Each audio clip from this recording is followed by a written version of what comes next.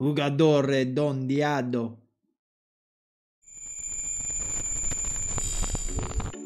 Hello, welcome back to the channel. My name is Clayts. This is Clayts FM, and today we've got the first in what I'm hoping is going to be a bit of a series of videos called Player Profiles.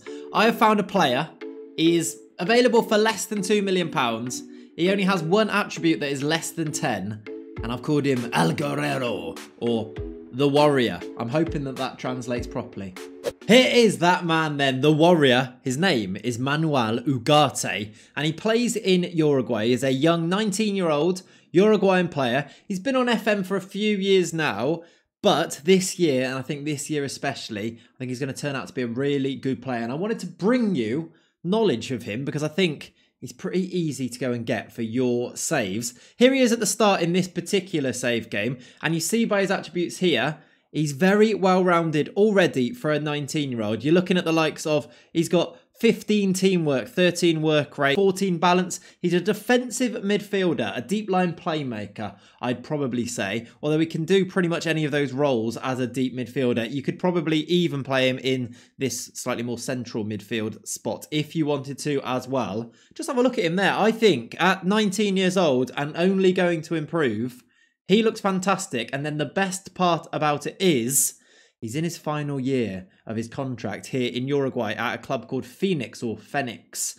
and that makes him very acquirable for most teams. What I'm showing you in the background here is me purchasing Manuel Ugarte for 1.7 million pounds and a little bit of percentage of next sale too for PSV Eindhoven. I kind of chose a team that I knew was going to have a little bit, of, well, enough money to sign him, but not one of the biggest teams. So that actually a lot of saves that you might have chosen to do for your FM21 beta save, I think this guy is a player that you could purchase. And you see here, £7,000 per week is a pretty affordable wage for him as well. Obviously, if you're playing as a team that has a bit more money, he may ask, well, his agent may ask for a little bit more money than that, but he's definitely affordable. Just £1.7 million up front and then less than 10k in wages. You can get him in very quickly, and he's really, really interested in moving abroad because, as I did say, he's in his last year of his contract in Uruguay and he doesn't want to sign a new one. Here is Manuel Ugarte then, one season in at PSV. You can see by some of his attributes that he has been improving his off the ball and his vision are currently on the way up as well.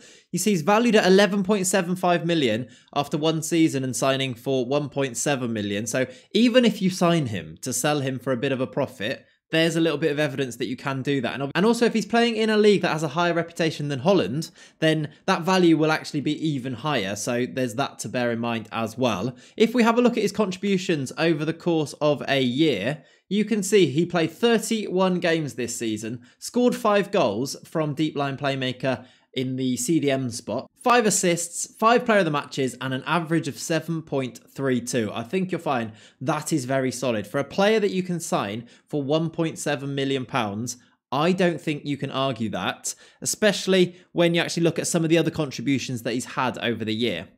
Few more stats just to look at here. You're looking at this PSV team. He had the most passes in the whole team, playing as that playmaker. If I show you the tactic, it looked like this. You see he was pretty central to everything. He picked up some really good relationships with the other two midfielders next to him. Deep line playmaker on support, just sat in behind a two. Obviously, he could play in different systems, but in this one here, with the ball being fed to him, he became probably one of PSV's best players after one season. Probably about halfway through the season, he was already at that sort of point.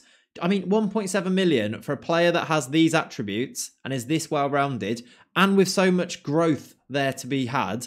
I think you can't go wrong. I have also actually holidayed forward five years and 10 years from the start. So I guess we'll go across to that and have a look how he got on in those five years and then 10 years. Here he is five years in the future. In this save game, he becomes a bit of a beast. He's valued at 35.5 million pounds. He looks, I mean, he looks really good, especially for this role. Look at the attributes in the right places. He looks good. 15 balance, 14 first touch. I don't think this is the best he can become, but still, it's very solid playing in the Premier League. In this save game, he did go to Dinamo Zagreb for 1.7 million pounds. That does seem to be the amount that it takes to get him. He then moved to Everton for 10.75.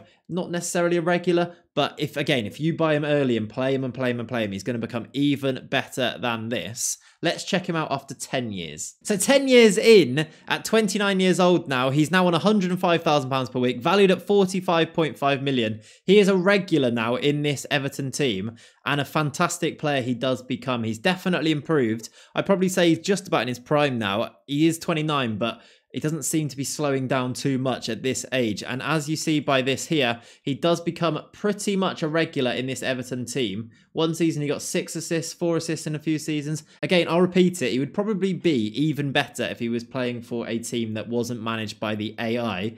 But even without that, he becomes really, really good. It's Manuel Ugarte. Go and buy him for 1.7 million pounds and enjoy a very, very well-rounded player. And that's where we're going to leave today's video. Hopefully you enjoyed it, something a little bit different. We're going to call it a player profile, and I'll be back with a few of these. I've got a few players that I've got in mind. If you've got any players that you think I should make a video like this about, get them down in the comments. I will check them out, and any ones that I like, I will. Uh, I'll, I'll, make a video on it because I think this is quite an interesting, different way of playing Football Manager.